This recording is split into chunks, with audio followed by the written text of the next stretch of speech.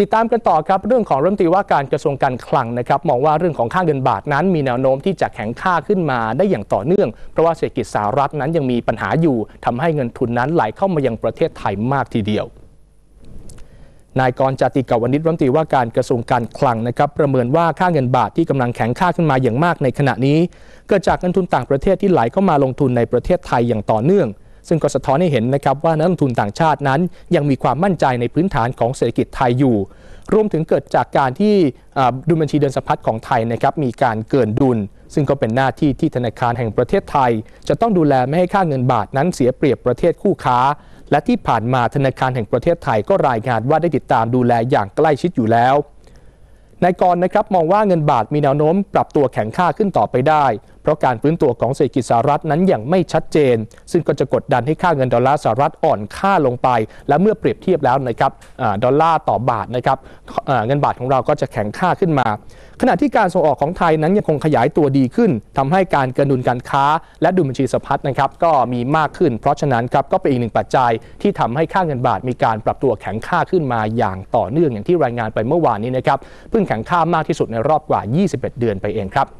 รัฐมนตรีช่วยว่าการกระทรวงพาณิชย์นะครับมีการสั่งเพิ่มความเข้มงวดในการตรวจสอบธุรกิจของคนต่างด้าว โดยเฉพาะธุรกิจที่มีความเสี่ยงสูงนะครับหลังจาก DSI ออกมาชี้ว่าบริษัท GGF ประเทศไทยนั้นเข้าข่ายการเป็นนอมินีของต่างชาติครับนายอลงกรพลบุตรนะครับรัฐมนตรีช่วยว่าการกระทรวงพาณิชย์ กล่าวถึงการที่สำนักงานคณะกรรมการป้องกันและปราบปรามการฟอกเงินหรือว่าปปงกำหนดธุรกิจ 9 ประเภท ต้องมีข้อมูลและหลักฐานทางธุรกิจ ให้เป็นไปตามกฎหมายของกรมพัฒนาธุรกิจการค้า ซึ่งดูแลกฎหมายการประกอบธุรกิจของคนต่างด้าว ที่ผ่านมาครับได้มีการสั่งการให้เข้มงวดในการตรวจสอบ การดำเนินธุรกิจของคนต่างด้าว โดยเฉพาะธุรกิจที่มีความเสี่ยง และเพิ่มการตรวจสอบการถือหุ้นแทน โดยเฉพาะในธุรกิจอสังหาริมทรัพย์ และเกษตรกรรม ส่วนความคืบหน้าในการตรวจสอบบริษัท GGF ประเทศไทยที่กรมสอบสวนคดีพิเศษหรือว่า DSI ได้มีการชี้ชัดนะครับว่าบริษัทดังกล่าว เข้าข่ายการเป็นนอมินีของชาวต่างชาติ ภายในสัปดาห์หน้าครับกรมพัฒนาธุรกิจการค้าก็จะมีการสรุปผลการตรวจสอบ และในวันนี้นะครับจะเป็นวันสุดท้ายที่จะให้ตัวแทนจากบริษัท GGF ประเทศไทย เข้ามาให้ปากคำโดยคาดว่าจะสามารถแถลงต่อสาธารณชนได้ในเร็ววันนี้ครับ ไปดูเรื่องของน้ำตาลกันบ้างนะครับกระทรวงพาณิชย์ครับมีการสั่งตรวจสอบยี่ปัวซาปัวรวมทั้งโรงงานนะครับที่ครอบครองน้ำตาลทรายอยู่ในขณะนี้ เพื่อเป็นการป้องกันปัญหาการกักตุนน้ำตาลทราย พร้อมกับขออนุมัติน้ำตาลทรายนะครับจากที่ประชุมคณะกรรมการอ้อยและน้ำตาลทราย เพื่อส่งมอบให้กับจังหวัดที่กำลังขาดแคลนน้ำตาลอยู่ครับ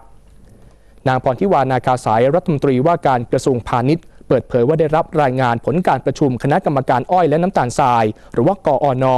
โดยอนุมัติในหลักการที่จะนำน้ำตาลทรายจากโคต้ากอจำนวน 1 ล้านกระสอบ เพื่อมาแก้ไขปัญหาน้ำตาลทรายขาดแคลน และมีราคาแพงอยู่ในขณะนี้ ซึ่งจะเสนอขอความเห็นชอบต่อที่ประชุมกออนในวันที่ 15 มีนาคม ถ้าหากว่าคณะกรรม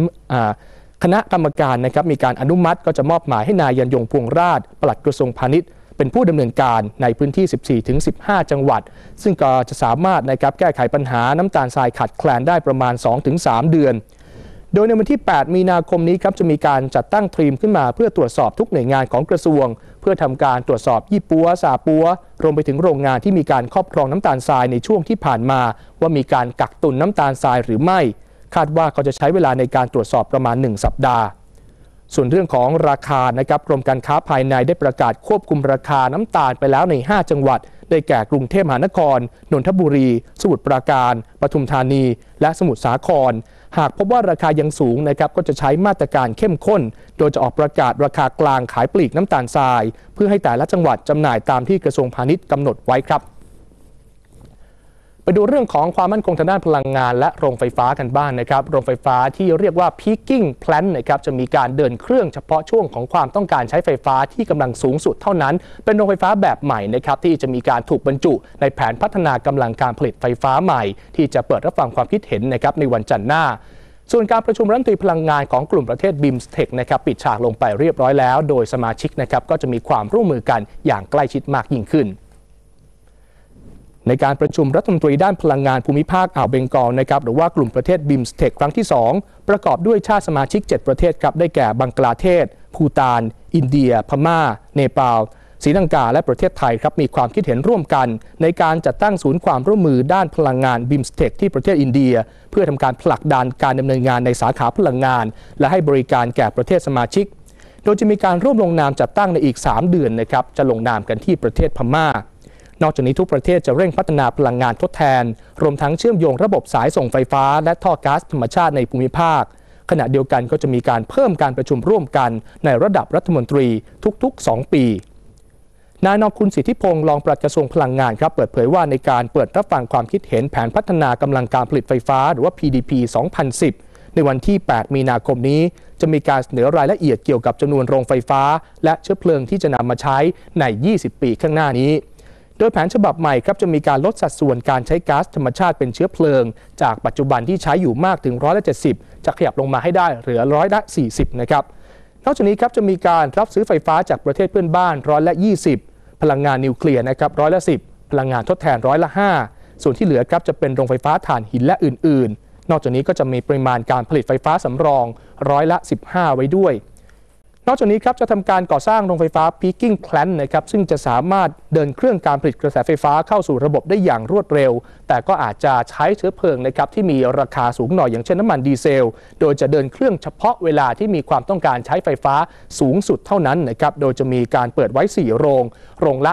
250 เมกะวัตต์นะครับเพื่อเป็นการลดการก่อสร้างโรงไฟฟ้าขนาดใหญ่ที่ใช้เงินลงทุนสูงมากครับ กระทรวงเกษตรและสหกรณ์นะครับอนุมัติงบประมาณนะครับกว่า 50 ล้านบาทเพื่อสนับสนุนนะครับในเรื่องของการปรับ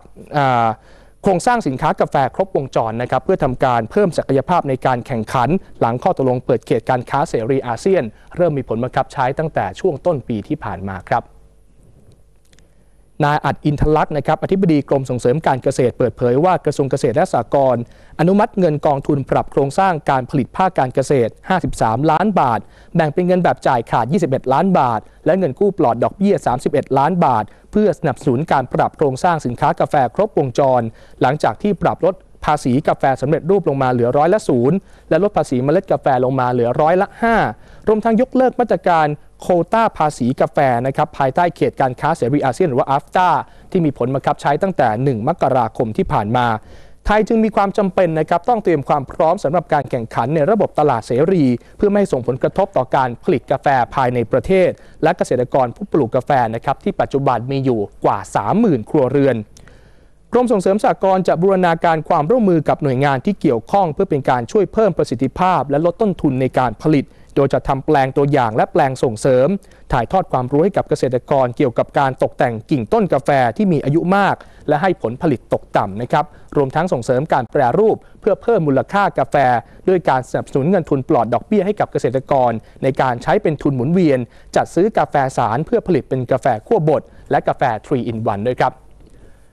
ณเวลานี้นะครับหลายท่านอาจจะไม่ทราบว่าเวียดนามนะครับเป็นประเทศที่ผลิตกาแฟมากทีเดียวเป็นอันดับที่ 2 ของโลกนะครับรองจากบราซิลยักษ์ใหญ่เท่านั้นเองนะครับถือว่าเป็นเรื่องที่เราต้องระมัดระวังนะครับโดยเฉพาะเกษตรกรผู้ปลูกกาแฟในบ้านเราครับกระทรวงอุตสาหกรรมนะครับผลักดันให้ไทยนั้นเป็นศูนย์กลางการค้าและบริการอาหารฮาลาลนะครับของโลกด้วยการจัดงาน World Halal Congress 2010 เพื่อสร้างความเชื่อมั่น และการยอมรับในมาตรฐานการผลิตสินค้าตามหลักศาสนาอิสลามครับ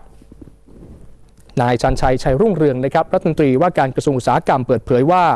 กระทรวงอุตสาหกรรมและสำนักงานคณะกรรมการกลางอิสลามแห่งประเทศไทย จัดงาน World Halal Congress ระหว่างวันที่ 19 ถึง 23 มีนาคม โดยมีวัตถุประสงค์เพื่อแสดงให้ทั่วโลก เห็นถึงความพร้อมที่จะเป็นศูนย์กลางด้านการผลิต การค้าและการลงทุนในสินค้าและบริการฮาลาล โดยตั้งเป้าจะผลิตนะครับและส่งออกไม่ต่ำกว่า 50,000 ล้านเหรียญสหรัฐ หรือมีส่วนแบ่งการตลาดไม่ต่ำกว่าร้อยละ 5 ทั่วโลก ภายในปี 2555 จากที่ปัจจุบันนะครับมีอยู่เพียงร้อยละหนึ่ง